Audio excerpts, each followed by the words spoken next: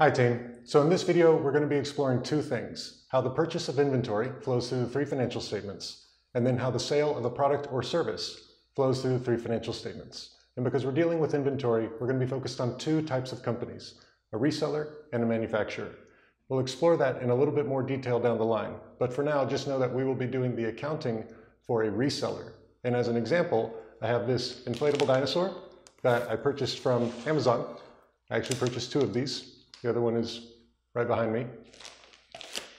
So if we were to use Amazon's balance sheet to account for this, it would result in an increase in inventory and a decrease in cash. So basically you have a debit to inventory and a credit to cash. So with that journal entry, let's take a look at what happens on the financial statements to record that transaction.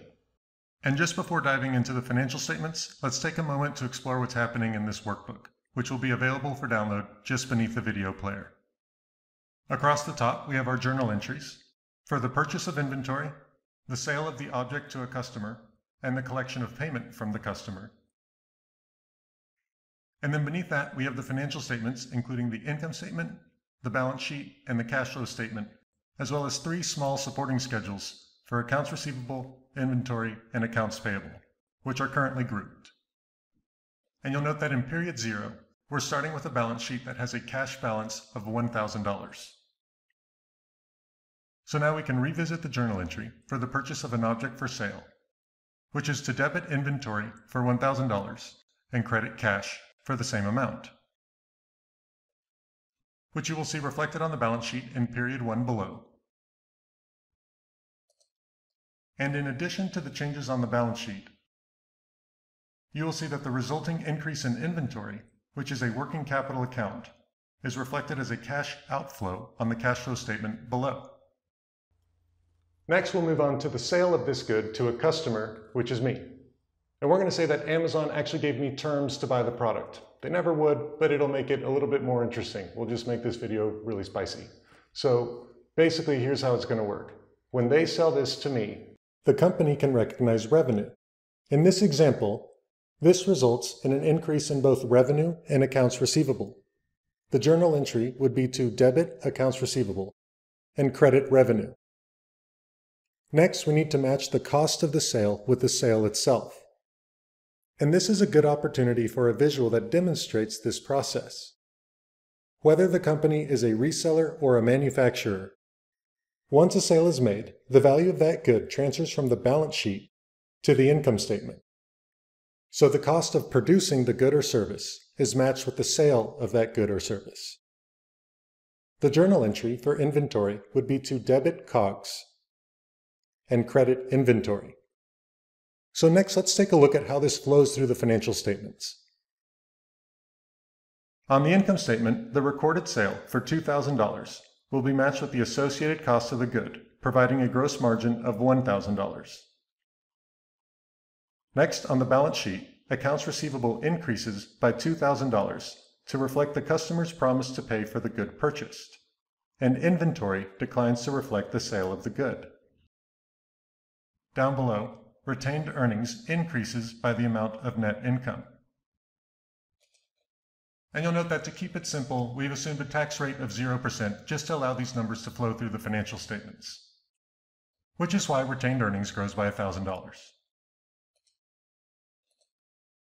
Next, the cash flow statement will start with net income of $1,000.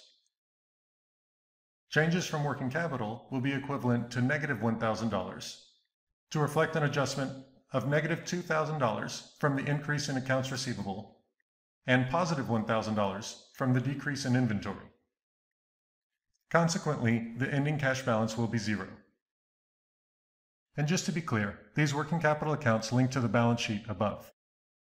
So in the same way that an increase in accounts receivable would reflect a cash outflow in a financial model, here we are doing the exact same thing.